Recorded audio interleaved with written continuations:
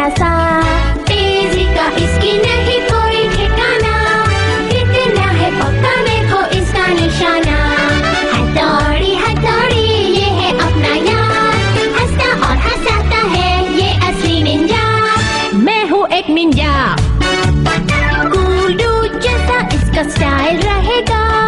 दोस्तों के लिए बड़ी मेहनत करेगा।